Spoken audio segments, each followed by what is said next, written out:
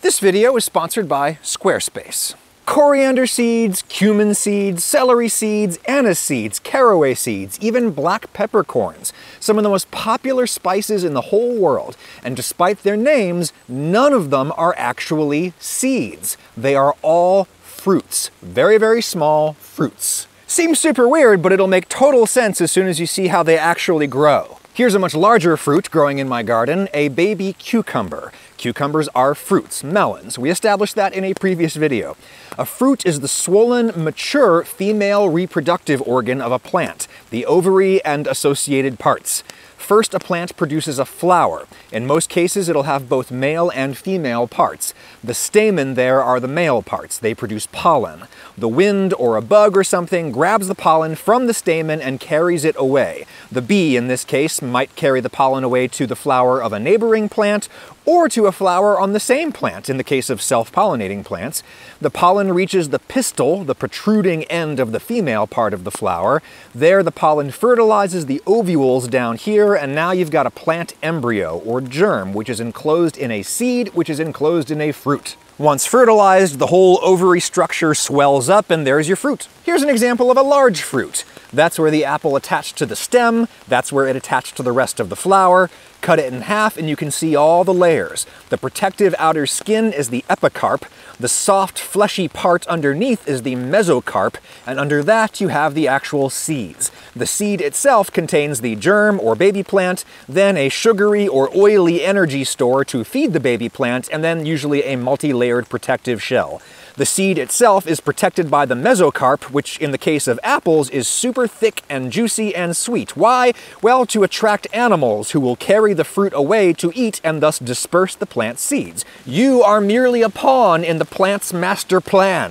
So yeah, that's what a fruit is, and coriander seeds, cumin seeds, fennel seeds in this case, these are all fruits, not seeds. I've been growing this fennel plant for about a year now, which is why it is giant. Its fronds, these fuzzy leaves, these still make a delicious fresh herb, but the bulb and the stalks have grown far too big and fibrous to be tasty. We usually eat adolescent fennel plants. This fennel plant is a full-on grown-up.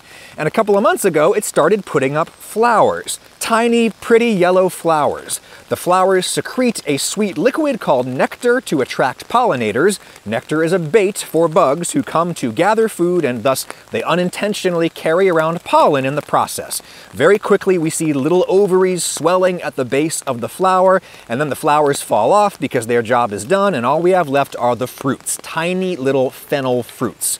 Don't think they look like fruits? Well, check them out under the microscope. They look like little mangoes, don't they?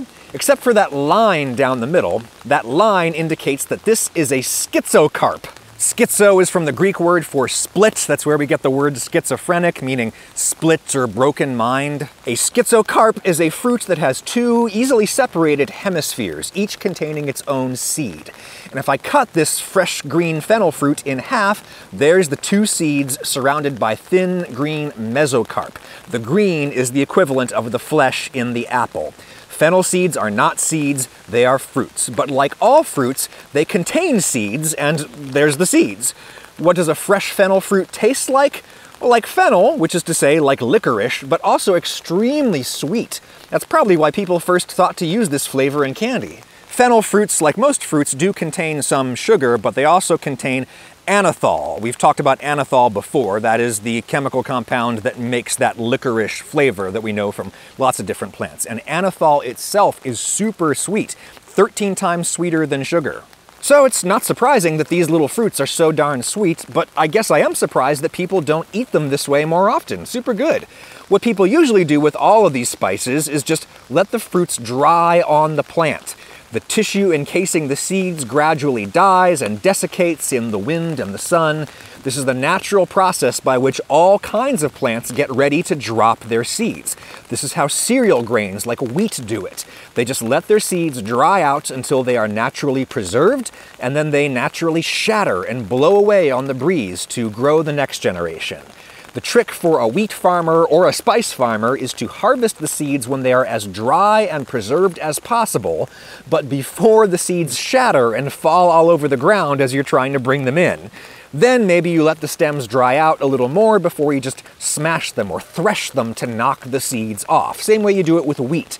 I obviously need to let these dry a little bit more, only a few are coming off, but those few are dry enough that the two hemispheres break apart really easily. That's why they call it a schizocarp. And I called it a seed again, sorry. It's a fruit, but in its dry state, the fruit skin and flesh is just so desiccated and thin that it's basically negligible. Cut it in half, you can see the actual seed in the core there. Lots of other spices look almost exactly the same as fennel here. Cumin looks basically the same, caraway, anise, even celery seeds. Celery seeds are just a whole lot smaller. There's a reason all of these spices look almost exactly the same. They're all from the same family, Apiaceae. That's why fennel stalks look like celery stalks, which look like these carrot stems. Same family, same U-shaped stem. Parsley's got it too. And yes, carrot and parsley fruits are also edible, even though we usually call them seeds. Here's what the cumin plant looks like with its fruit. Here's caraway, anise, dill is the same deal, coriander, aka cilantro, same family, same deal. The coriander fruit is a little bigger and more bulbous, but it's still a schizocarp with two seeds. All of these dried fruit spices are siblings, with the exception of peppercorns.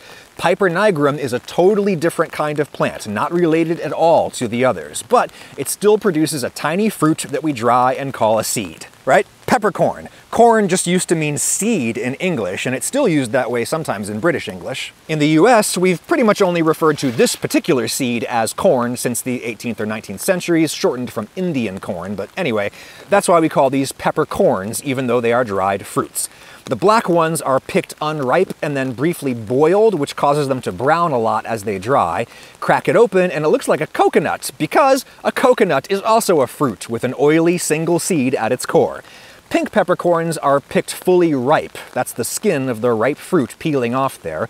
These are dried in ways that preserve their color, usually at the expense of getting all the water out. Still kind of wet in there, but that allows you to see quite plainly that this is a fruit with a seed inside, not a seed, aka corn. I just thought you'd want to know that. Fruit, not seed.